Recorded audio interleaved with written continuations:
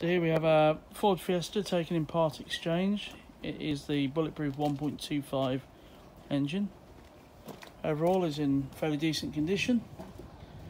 The mileage is just just over 71,000. It's got an MOT more or less till the end of this year. Comes with both of its keys and our customer who part exchanged it has had the car for a number of years. However,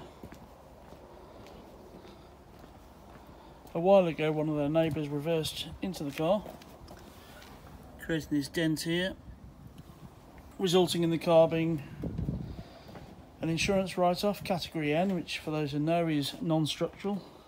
However, the car has been an insurance loss. It still looks, it drives incredibly well. It's presentable inside, could do with a final clean. We've only given it a quick vac because of the sort of car it is.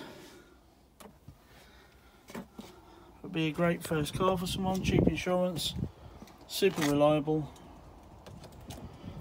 Put a new set of wheel trims on just to smarten it up. There's some scuffing on the rear bumper, but other than that, not a bad example at all.